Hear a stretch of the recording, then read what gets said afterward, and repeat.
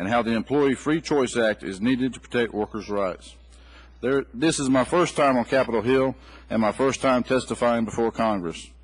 I want to communicate to you that my service in Desert Storm was to protect the laws of our land and not to protect companies like Smithfield that continually violate those laws. If I can submit my entire written statement for the record, I'd like to quickly summarize my story. Smithfield's Tar Heel plant is the largest hog slaughter and pork processing facility in the world. The Tar Heel plant processes 32,000 hogs a day. That's 16,000 hogs per eight-hour shift, 2,000 per hour, 33 hogs every minute, one every two seconds. As a hog runner in the livestock department, I work inside the pens where hogs are unloaded off trucks. During my eight-hour shift, my coworkers and I are responsible for moving about 16,000 live hogs per day. I returned to North Carolina after my duty in Desert Storm and started working at Smithfield in 1993. I soon saw how Smithfield mistreated its workers and in December 1993 started working on organizing a union. We wanted a safe workplace. We wanted a union contract. We wanted to be treated with respect. In 1994, Smithfield illegally targeted and fired me for my union organizing activities. The supervisors and the deputy sheriff marched me out of the plant in front of all the other employees as an example to intimidate the others. At the time, my wife was pregnant with our first child, and what should have been a joyous time for us became a difficult one. Shortly after my firing, there was a vote, and we were cheated out of union representation because of Smithfield's illegal activities. The NLRB issued a complaint against Smithfield for numerous violations of workers' rights. The company's anti-union campaign and severe intimidation and harassment cost us the election. Smithfield CEO Joe Luter III later promised in writing that the next election would be fair. That promise was not worth the paper it was printed on. The election that followed in 1997 was even worse. Intimidation, threats, arrests, and firings. I want to point out that a union election in a plant is nothing like the elections to public office that you are familiar with.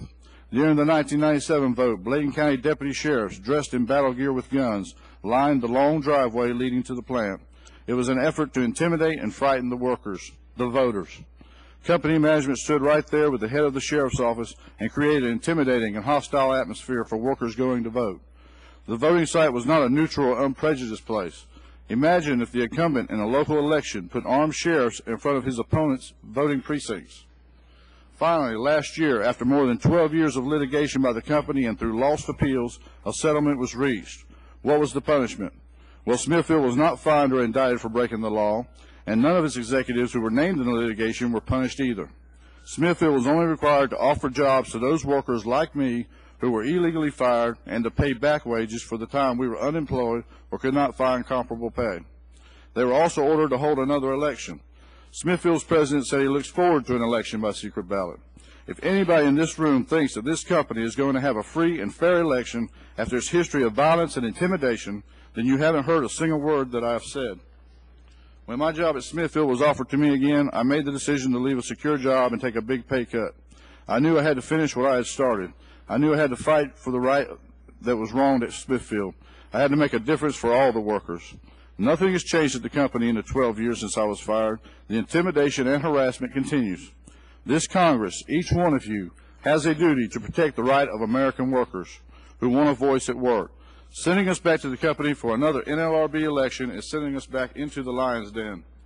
Give us the Employee Free Choice Act so we can make our own decisions without harassment and intimidation. People's lives and jobs are on the line. These elections are neither free nor fair, especially when a multi-billion dollar corporation is willing to break the law repeatedly. But, that, but they do have a direct impact on me, on my coworkers at Smithfield, and on workers all across the United States.